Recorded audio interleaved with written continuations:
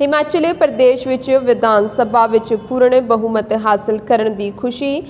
ਅੱਜ ਸਮਰਾਲਾ ਦੇ ਮੇਨ ਚੌਕ ਵਿੱਚ ਯੂਥ ਕਾਂਗਰਸ ਹਲਕਾ ਸਮਰਾਲਾ ਦੇ ਪ੍ਰਧਾਨ ਮਨਪ੍ਰੀਤ ਸਿੰਘ ਜਲਨਪੁਰ ਦੀ ਅਗਵਾਈ ਹੇਠ ਕਾਂਗਰਸੀ ਵਰਕਰਾਂ ਵੱਲੋਂ ਲੱਡੂ ਵੰਡੇ ਗਏ। ਇਸ ਮੌਕੇ ਸੰਬੋਧਨ ਕਰਦੇ ਹੋਏ ਮਨਪ੍ਰੀਤ ਸਿੰਘ ਜਲਨਪੁਰ ਨੇ ਕਿਹਾ ਕਿ ਕੇਂਦਰ ਦੀ ਭਾਜਪਾਈ ਸਰਕਾਰ ਜੋ ਪੂਰੇ ਭਾਰਤ ਨੂੰ ਭਗਵੇਂ ਰੰਗ ਵਿੱਚ ਰੰਗਣਾ ਚਾਹੁੰਦੀ ਸੀ ਪਰੰਤੂ ਹਿਮਾਚਲ ਪ੍ਰਦੇਸ਼ ਦੇ ਵਿਧਾਨ ਸਭਾ ਚੋਣ ਨਤੀਜਿਆਂ ਨੇ ਭਾਜਪਾ ਦੇ ਮੂੰਹ ਤੇ ਕਰਾਰੀ ਚਪੇੜ ਮਾਰੀ ਹੈ। ਉਹਨਾਂ ਨੇ ਅੱਗੇ ਕਿਹਾ ਹੈ ਕਿ ਹਿਮਾਚਲ ਵਿੱਚ ਕਾਂਗਰਸ ਪੂਰੇ ਬਹੁਮਤ ਨਾਲ ਸਰਕਾਰ ਬਣਾ ਰਹੀ ਹੈ। ਜਿਸ ਤਰ੍ਹਾਂ ਦਾ ਭਰੋਸਾ ਹਿਮਾਚਲ ਪ੍ਰਦੇਸ਼ ਦੇ ਲੋਕਾਂ ਨੇ ਕਾਂਗਰਸ ਵਿੱਚ ਪ੍ਰਗਟ ਕੀਤਾ ਹੈ, ਉਸ ਭਰੋਸੇ ਤੇ ਕਾਂਗਰਸ ਪੂਰੀ ਤਰ੍ਹਾਂ ਉਤਰੇਗੀ ਅਤੇ ਵਿਕਾਸ ਕੰਮਾਂ ਵਿੱਚ ਤੇਜ਼ੀ ਲਿਆਵੇਗੀ। ਹਾਂਜੀ ਮੇਰਾ ਨਾਮ ਮਨਪ੍ਰੀਤ ਸਿੰਘ ਜਾਨਲਪੁਰ ਹੈ। ਮੈਂ ਯੂਥ ਕਾਂਗਰਸ ਹਲਕਾ ਸਮਰਾਲਾ ਤੋਂ ਪ੍ਰੈਜ਼ੀਡੈਂਟ ਹਾਂ। ਤੇ ਅੱਜ ਤੁਹਾਡੇ ਲੱਡੂ ਵੱਡੇ ਗਏ ਨੇ। ਕੀ ਖੁਸ਼ੀ ਹੈ ਕਿਸ ਤਰ੍ਹਾਂ ਹੋਈ? ਅੱਜ ਸਾਡੇ ਲਈ ਵੱਡਾ ਖੁਸ਼ੀ ਦਾ ਦਿਨ ਹੈ ਕਿਉਂਕਿ ਅੱਜ ਕਾਂਗਰਸ ਪਾਰਟੀ ਹੈ ਜੋ ਹਿਮਾਚਲ ਦੇ ਵਿੱਚ ਵਿਧਾਨ ਸਭਾ ਚੋਣਾਂ ਦੇ ਵਿੱਚ ਬੜੀ ਤਕੜੀ ਜਿੱਤ ਹਾਸਲ ਕੀਤੀ ਹੈ। ਸੋ ਜਿੱਥੇ ਮੈਂ ਸਾਰਿਆਂ ਨੂੰ ਵਧਾਈ ਦੇਣਾ ਚਾਹੁੰਦਾ ਉੱਥੇ ਸਾਡੇ ਹਲਕਾ ਇੰਚਾਰਜ ਰੁਪਿੰਦਰ ਸਿੰਘ ਰਾਜਾ ਗਿੱਲ ਜੀ ਦੀ ਅਗਵਾਈ ਦੇ ਵਿੱਚ ਅੱਜ ਅਸੀਂ ਯੂਥ ਕਾਂਗਰਸ ਵੱਲੋਂ ਸਮਰਾਲਾ 'ਚ ਲੱਡੂ ਵੰਡੇ ਨੇ। ਮੈਂ ਰਾਜਾ ਬੜਿੰਗ ਜੀ ਨੂੰ ਤੇ ਸਾਡੇ ਜੋ ਵਿਧਾਨ ਸਭਾ ਹਿਮਾਚਲ ਦੇ ਇੰਚਾਰਜ ਸੀਗੇ ਚੋਣਾਂ ਦੇ ਵਿੱਚ ਗੁਰਕੀਤ ਸਿੰਘ ਜੀ, ਸਾਬਕਾ ਮੰਤਰੀ, ਉਹਨਾਂ ਨੂੰ ਬਹੁਤ ਵੱਡੀ ਵਧਾਈ ਜਾਂਦੀ ਹੈ ਤੇ ਉਸ ਤੋਂ ਬਾਅਦ ਸਾਡੇ ਜ਼ਿਲ੍ਹਾ ਪ੍ਰਧਾਨ ਨੇ ਲਖਵੀਰ ਸਿੰਘ ਲੱਖਾ ਜੀ, ਉਹਨਾਂ ਨੂੰ ਵੀ ਵਧਾਈ ਦਿੰਦਾ ਸੋ ਮੈਂ ਸਾਰੇ ਹੀ ਹਿਮਾਚਲ ਵਾਦ ਦੇ ਲੋਕਾਂ ਨੂੰ ਵੀ ਧੰਨਵਾਦ ਕਰਦਾ ਜਿਨ੍ਹਾਂ ਨੇ ਬੜਾ ਰੌਲਾ ਪਾਇਆ ਸੀ ਪਿਛਲੇ ਲੰਬੇ ਸਮੇਂ ਤੋਂ ਕਿ 70 ਸਾਲ 'ਚ ਕਾਂਗਰਸ ਨੇ ਕੀ ਕੀਤਾ। ਉਹਨਾਂ ਨੇ 70 ਸਾਲ ਦਾ ਜੋ ਰਿਜ਼ਲਟ ਸੀ ਆ 5 ਸਾਲਾਂ ਦੇ ਵਿੱਚ ਬਦਲ ਕੇ ਦਿਖਾਤਾ ਕਿ ਕਾਂਗਰਸ ਪਾਰਟੀ ਹੀ ਕਿਹੋ ਜਿਹੀ ਪਾਰਟੀ ਹੈ ਜੋ ਸਾਰੀਆਂ ਧਰਮਾਂ ਨੂੰ ਸਾਰੇ ਸਮਾਜ ਦੇ ਲਈ ਵਧੀਆ ਪਾਰਟੀ ਹੈ 2024 ਦੇ ਇਲੈਕਸ਼ਨ ਨੂੰ ਲੈ ਕੇ ਯੂਥ ਵੱਲੋਂ ਕੀ ਬਿਲਕੁਲ ਜੀ 2024 ਤੋਂ ਪਹਿਲਾਂ ਅਸੀਂ ਆ, ਰਾਹੁਲ ਗਾਂਧੀ ਜੀ ਭਾਰਤ ਜੋੜੋ ਯਾਤਰਾ ਦੇ ਅਧੀਨ ਇੱਥੇ ਸਮਰਾਲਾ ਦੇ ਵਿੱਚ ਜਨਵਰੀ ਦੇ ਵਿੱਚ ਪਹੁੰਚ ਰਹੇ ਨੇ ਪੰਜਾਬ ਦੇ ਵਿੱਚ।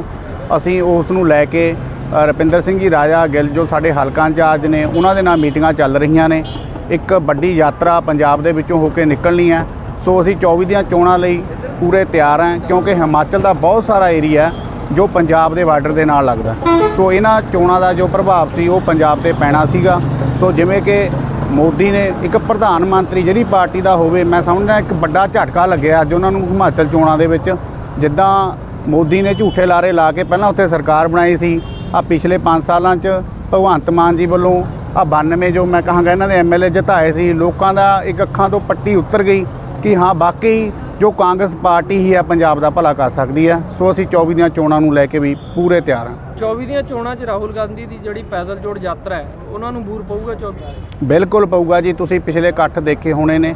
ਜਿਹੜੀ ਵੀ ਸਟੇਟ ਦੇ ਵਿੱਚ ਰਾਹੁਲ ਗਾਂਧੀ ਜੀ ਜਾ ਰਹੇ ਨੇ ਉੱਥੇ ਭਰਮਾ ਹੁੰਗਾਰਾ ਲੋਕਾਂ ਦੇ ਵੱਲੋਂ ਉਹਨਾਂ ਨੂੰ ਮਿਲ ਰਿਹਾ।